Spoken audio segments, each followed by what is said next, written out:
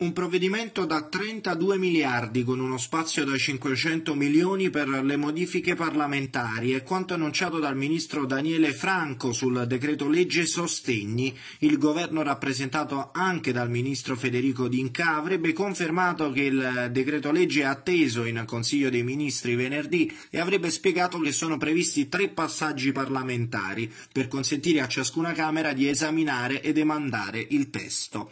Aiuti alle imprese fino 10 milioni di ricavi con 5 fasce e percentuali che vanno dal 60% per le più piccole al 20% per le più grandi. Sarebbe questo lo schema illustrato dal Ministro dell'Economia ai partiti nel corso dell'incontro con i capigruppo in Parlamento. Lo schema prevede un indennizzo del 60% per le imprese fino a 100.000 euro, del 50% tra 100.000 e 400.000 euro, del 40% tra 400.000 e 1 milione, 30% tra 1 1 e 5 milioni e 20% tra 5 e 10 milioni. Un bonus per gli stagionali che non vedono aiuti da agosto al netto della Naspi perché ha avuto la fortuna di lavorare per tre mesi, una tantum da 2.400 euro complessivi con una copertura di un miliardo e mezzo di euro. In bilico ci sono anche i bonus ai collaboratori sportivi che comunque potrebbero essere riconfermati. È previsto un altro miliardo e mezzo per incrementare il fondo istituito con la manovra per ridurre i contributi dovuti da parte degli autonomi.